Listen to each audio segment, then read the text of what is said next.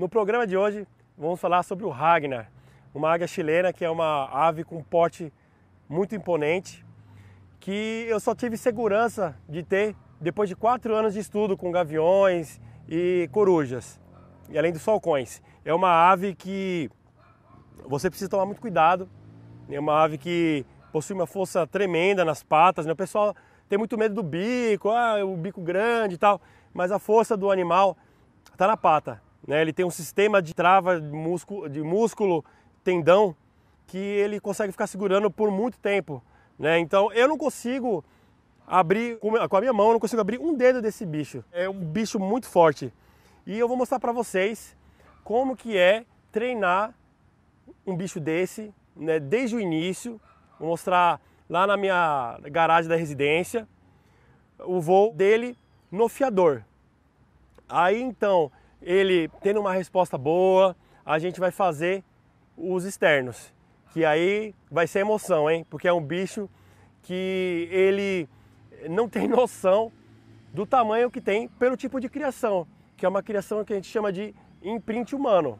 Então, é, ele não faz ideia do tamanho que é um, um cachorro em relação a ele, porque qual que é o foco dele ali, qual que é a base de, de proporção?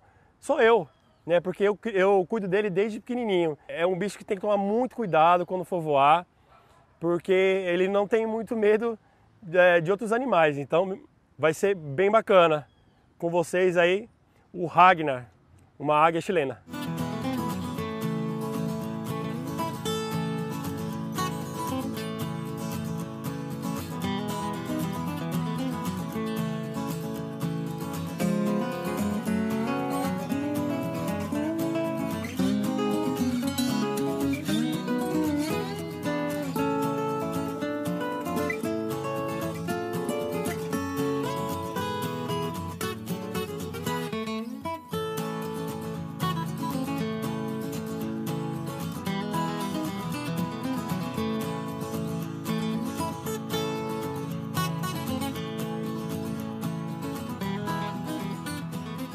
Ragnar, vem.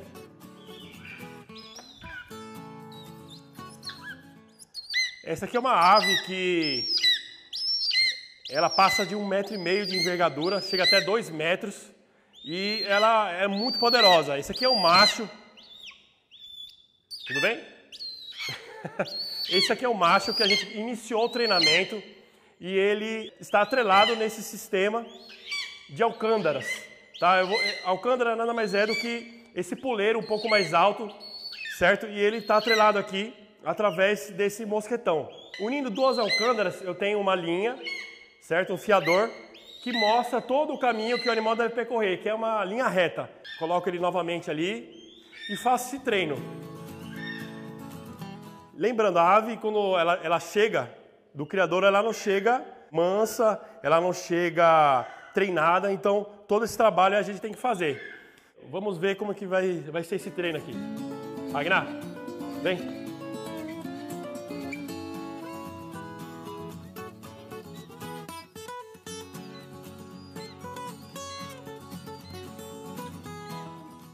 A gente chama de treino indoor, tá? Porque é um treino dentro de casa. Esse aqui é o começo, ele tem que entender que toda vez que eu chamo ele, ele vai ganhar uma recompensa, que é um pedaço de carne, tá? uma carne de codorna, lembrando que é, não tem ração, então você precisa é, dar carne de codorna, de pintinho, de coelho, de rato, camundongo. É o mais próximo que a gente tem do que seria o alimento próprio dele na natureza, né? Então, Ragnar, vem, vem.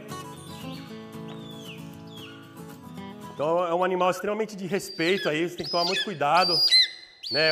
Tem uma garra poderosa aqui. É um animal de, de quase um quilo e meio, esse macho, a fêmea é um pouco mais pesada. Lembrando, né? A Cleo tem, voa com 700 gramas de peso. Ele tem o dobro.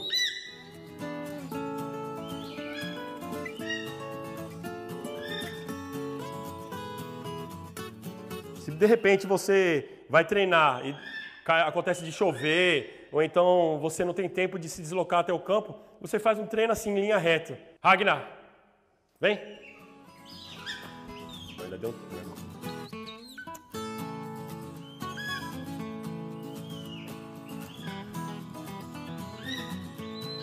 Ragnar.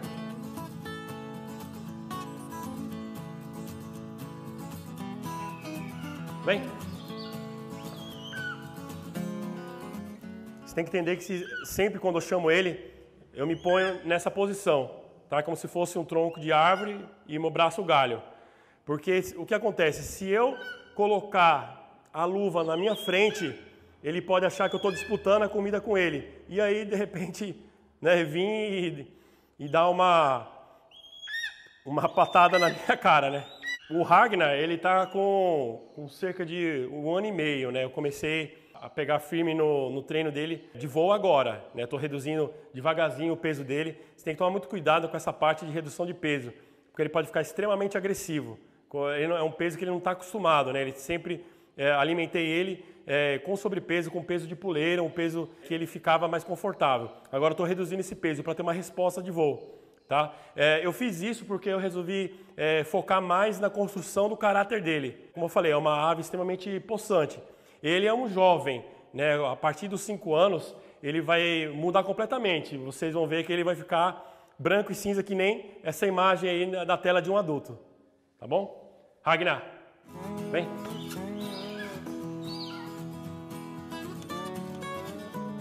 Ele vem né, com a força do caramba. A respeito do peso dele, é feito um controle, igual eu faço com todos os meus animais que eu estou voando. Né? Então, hoje eu vou dar cerca de é, 100 gramas de alimento. Estou acompanhando o quanto que ele consome, ele está alternando aí, dependendo se o dia está muito quente, muito frio, ele se alimenta um pouco mais. Então, estou iniciando essa parte aí é, do metabolismo dele, vendo como está se portando bem devagarzinho. Eu retiro uma grama de alimento por dia eu vou retirando do alimento o peso e, vou vendo a resposta dele. Né? Tá, até agora está indo muito bem. Vamos ver. Ragnar! Tá vendo agora o carro. Ragnar. Ragnar. E vamos, botar aqui? Vem. Vem. Vamos.